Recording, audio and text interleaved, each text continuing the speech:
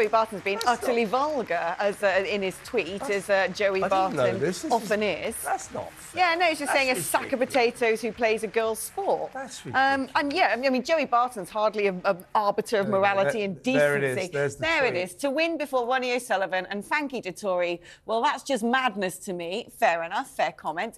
Both almost genius, uh, genius-like in their respective fields. They've lost to a big sack of spuds that plays in goal for a girls' team? I mean, Joey, you're a man who's actually been to prison for a fray. You've, you know, you've, you've only been capped for England once. You're hardly some sort of representative of how common minded, uh, common decent minded people think. So. That said, though, Pipe that said, Barton. Ronnie O'Sullivan has had a sensational year. He's the greatest snooker player uh, uh, ever.